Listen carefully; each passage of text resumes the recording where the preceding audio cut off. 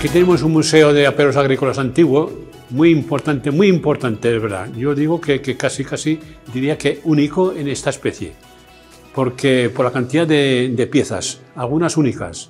Después la presentación, porque se ve que está todo ya reparado, y lo más que aprecian la gente es la información, porque está todo con, está todo con su nombre, su uso, y, y está todo, ¿verdad?, muy, muy controlado. Esto, hombre, la experiencia mía, como he sido siempre agricultor, no tenía ninguna pega, porque estas cosas las he usado yo de, de, de joven, las he usado, entonces no tenía una pega. Y dije, pues esto para... Porque normalmente por ahí te ves museos y ves toda la cosa revuelta, sin tener orden. Y ya, claro, dije, pues vamos a organizarlo por, por cultivos y de esta manera se aprecia mucho mejor toda, todas las herramientas.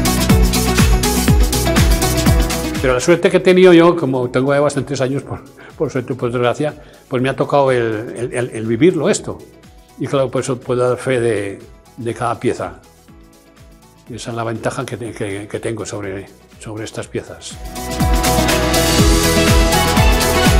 Agradecer a la gente que, que me ha donado muchas de las cosas y, y la verdad, como el fin era siempre eso, el tener una cosa para, para el pueblo, donarlo al pueblo y tener un punto más de, para el turismo, pues la gente me ha colaborado mucho. Aquí tenemos una suerte de que en Fitio tenemos varios cultivos. Entonces puede tenemos más piezas por esa cosa. Pues tenemos el cereal, tenemos la, la, la viña, el aceite, la fruta. Entonces tenemos mucho más herramientas por esa razón.